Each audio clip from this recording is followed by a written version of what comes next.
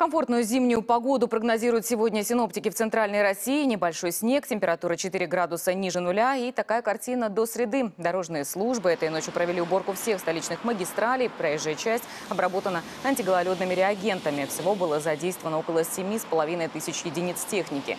В выходные в Москве выпало до 5 сантиметров осадков. Первый серьезный снегопад с начала календарной зимы. Особое внимание очистки от наледи тротуаров и территории у станции метро.